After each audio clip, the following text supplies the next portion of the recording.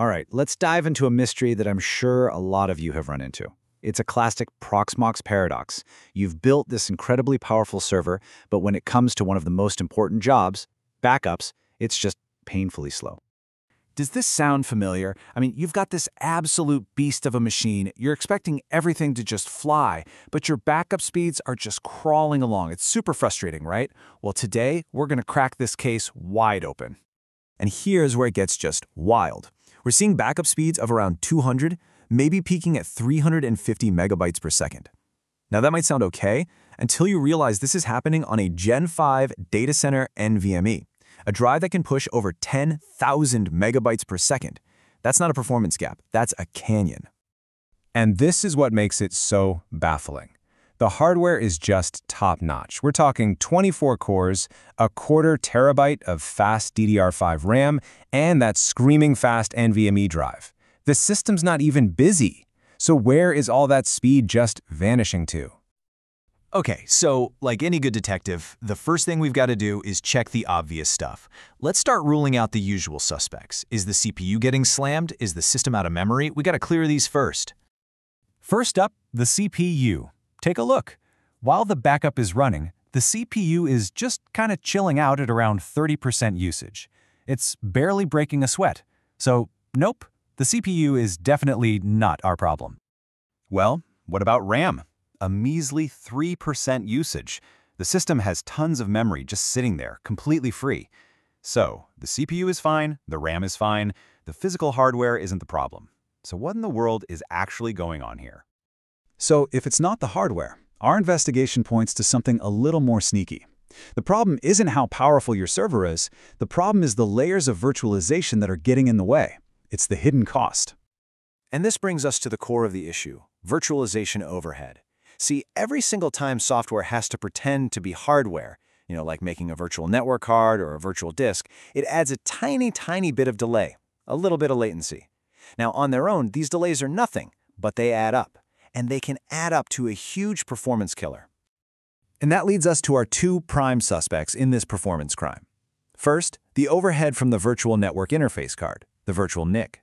And second, the latency from having a virtual disk that's sitting on top of the host's logical volume manager, or LVM. Let's break down that first one. When you run your Proxmox backup server, your PBS, inside a virtual machine, all of that backup data has to squeeze through a virtual network card.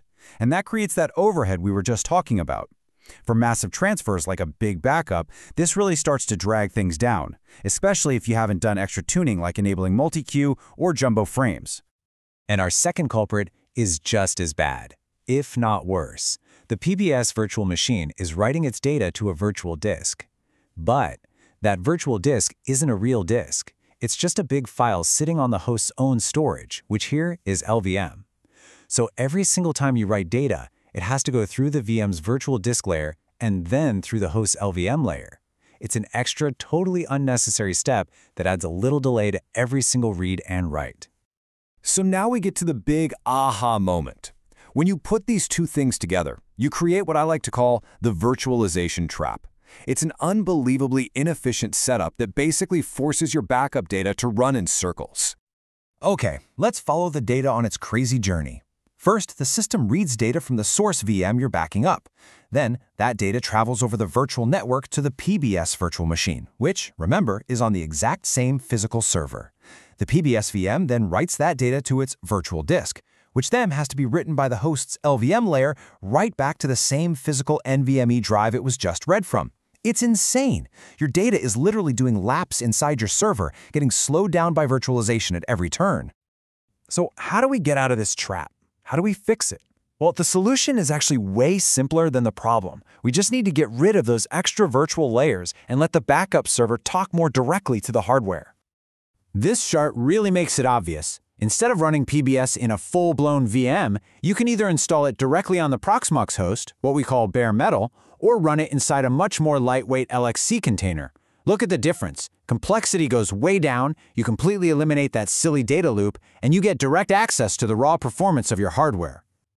Now I know exactly what some of you are thinking. Wait a minute, isn't it a terrible idea to put my backups on the same server I'm backing up?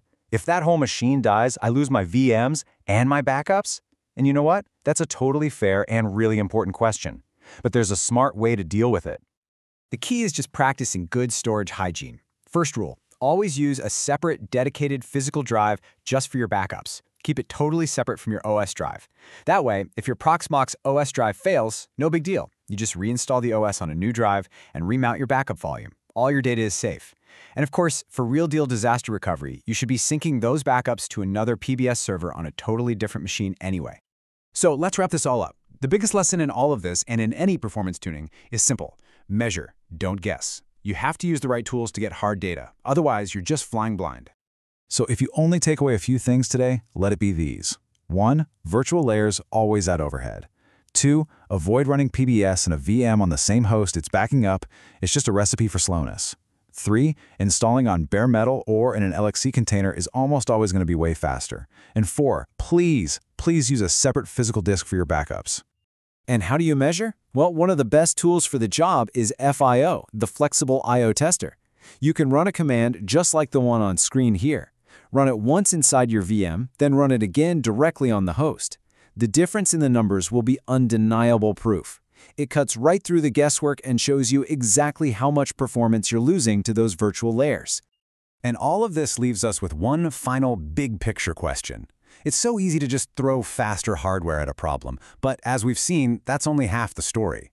So the question you should really be asking yourself is this. Sure, your hardware is fast, but is the software architecture you've built on top of it actually letting it shine?